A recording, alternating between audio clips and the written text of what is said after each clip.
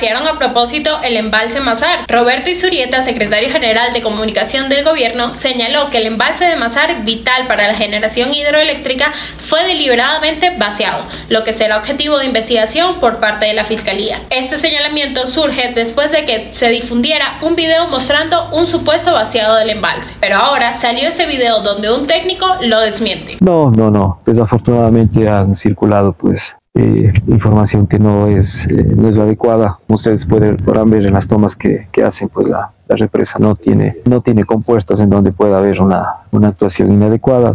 Además, toda la, la, programación de niveles pues está o lo hace el, el, Operador Nacional de Electricidad, que es el SENACE, y nosotros solamente cumplimos con las disposiciones de, de SENACE, básicamente. Es decir, técnicamente mm, imposible. Sí, sí, no, no, no es posible no es posible. El, la bajada del embalse es un proceso de, de, algunos meses.